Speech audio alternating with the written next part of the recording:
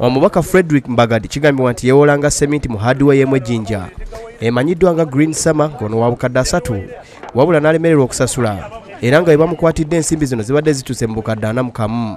Ono gye yeewola seminti bakanze kumubanja nsimbi nga bazannyemu ku bbiri.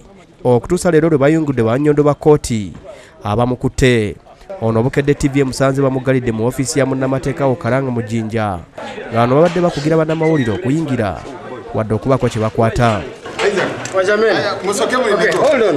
You are going to get your time. Let us get out, please. Give us space. I'm just begging you. Wait there. Can you Thank get you. out? Can you get out? Don't touch You him. don't have a right to touch me.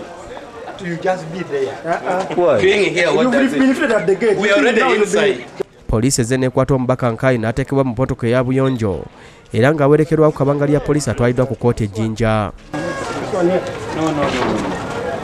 he says he's not comfortable with that So you come with him. it's okay. Let me come with you ono atwaliddewo omulamuzi susan kanyanga awadde enjuyi zombi akaseera okwetereeza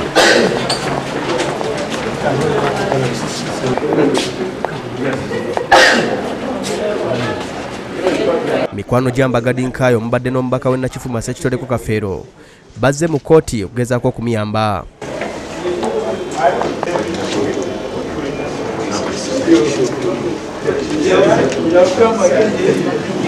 amangu ago bamusondodde ensimbi obukadde munaana ku obwana mu kamu ezimubanjibwa bw'atyo n'ayimbulwa.